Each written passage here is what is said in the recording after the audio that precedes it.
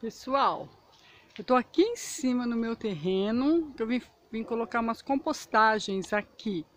De repente me deparei com esse pé de ameixa, que fica bem da, na, na divisa minha com meu vizinho, tá? Então é combinado que vem do lado de cá é nosso, que vem do lado de lá é dele. E tá aqui com bastante ameixa e vou dizer, tá docinha, viu? Muito show! Aqui também eu tô com um cacho de bananeira. Olha ali. Um cacho de bananeira. Cadê a bananeira? Vamos ver. Não sei se dá para vocês verem, mas tem um cacho de bananeira ali, tá? Ele tá bem cheio de... Olha ali. Tá um cacho de bananeira. Aí, agora deu pra ver. Olha lá, um cacho bem grande, hein? Nossa!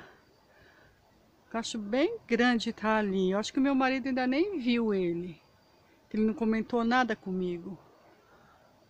Olha aqui, eu trouxe compostagem. Vou estar colocando, tá, meus amores? As compostagens nos pés de tudo quanto for necessário aqui. Eu vou estar colocando, ó. A gente coloca o pneu, que é para compostagem parar, entendeu? E eu já trouxe até uma enxadinha. Ó, opa, não é para cair fora não. Isso aqui é muito importante para a saúde da planta, tá? Isso aqui vai apodrecer aqui. Isso aqui vai apodrecer aqui nos pés aqui e é onde vai tornando a planta mais bonita, tá? Aí vamos ver mais algumas alguns lugares, tá? Hum, hum. Agora vamos ver. Vamos pôr aqui, né? Que tá bem afastadinho aqui. Vamos tá colocando aqui, né? Aqui, ó.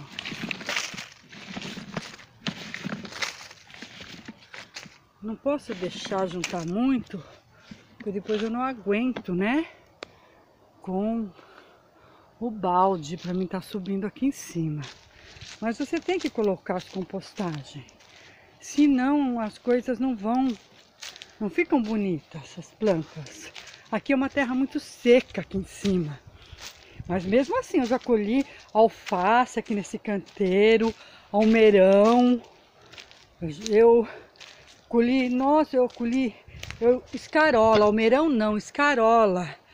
Eu, eu já colhi aqui esse canteiro cheio de escarola, de alface. Daí desanimei, depois que um dia eu vi uma cobra aqui, eu desanimei, eu fiquei com medo, quase eu pisei numa cobra aqui. Daí eu desisti. Eu desisti, agora só venho aqui por compostagem mesmo. Porque aqui é um lugar seco, onde tem muita cobra. E jararaca ela é mortal, né? Se você não correr em tempo. Ela vem para te matar mesmo. Amigas, então é isso aí, tá? Isso aqui é um pé de jabuticaba, olha, mas tá seco, sem chuva. Olha o brotinho. Isso aqui é um pé de jabuticaba, ó. Vou tá colocando aqui tá? Compostagem aqui no meu pezinho de jabuticaba. Tem um pé de espinheira santa que meu marido veio aqui plantou e eu tô procurando onde é que tá o pé de espinheira santa. Achei ela aqui, ó, mas aqui é uma terra muito seca, viu? Aqui. Eita, essa espinheira santa, gente, não tem jeito de ir para frente, viu?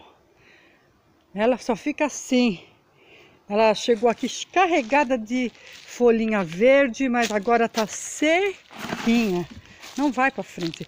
E meu marido colocou aqui onde bate sol aberto para ver se ela vai para frente, né? Amigas, olha que neblina. Eu moro numa região da represa, então de vez em quando forma essa neblina toda, fecha toda aqui de neblina, dá uma olhada. Mas é um lugar muito sossegado para se viver, viu? Gosto muito daqui. Já moro aqui há 23 anos. E Beijo, amigas. Beijo. Não esquece de inscrever-se no canal Recanto da Cida, deixar o seu joinha. Agora, deixa o seu joinha aí pra mim, tá? Muito obrigada. E não esquece de tocar meu sininho. E esse aqui, amigas, é o meu chifre de viado. Olha, gente, chifre de viado adora a árvore. Ele adora, ainda que tá seca, que não tem água aqui. Mas olha a capa que ele criou e agarrou na árvore. Dá uma olhada que coisa linda, tá? É isso aí. Beijo, amores. Tchau, tchau.